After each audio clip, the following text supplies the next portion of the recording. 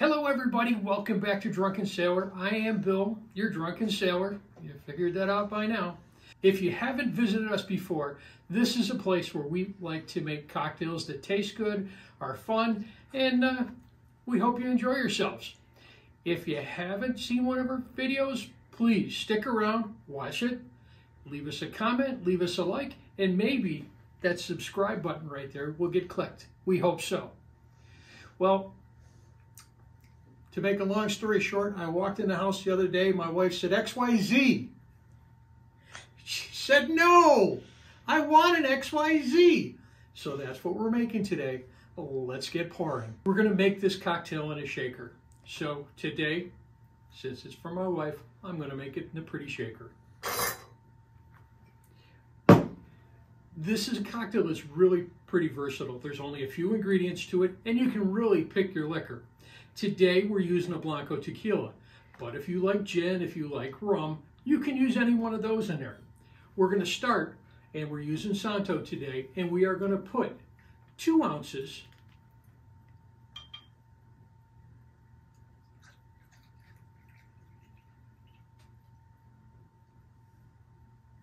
Uh-oh. And it's the last time we're making one of these with Santo for a while.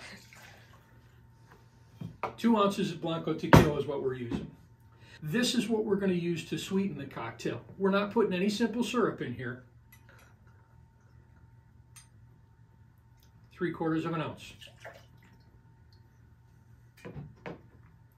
Our last ingredient in here, as I said, it's pretty simple, just three ingredients, is freshly squeezed lemon juice. You know fresh is best, three quarters of an ounce.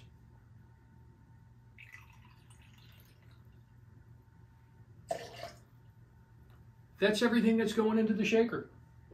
Well, we do have to put some ice in there.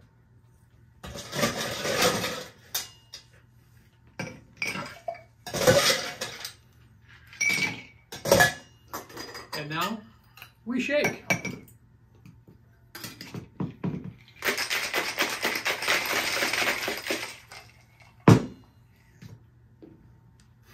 You can smell that fresh lemon in there. That's really, really good. All we have left to do is take our Nick and Nora glass. We've had it chilled. I've got some crushed ice in there. You dump the ice.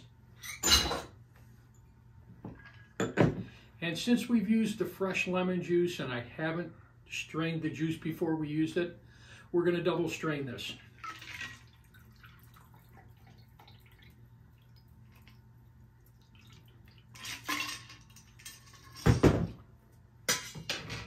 Perfect amount in the glass. Now what I'm going to do is take a lemon peel and I'm going to use the oils from that lemon peel, squeeze it, express those oils, rub it around the glass, put some on your fingers, so where you grab the glass, you're going to get that flavor of lemon, you're going to get that scent of lemon, and just put that lemon peel in there.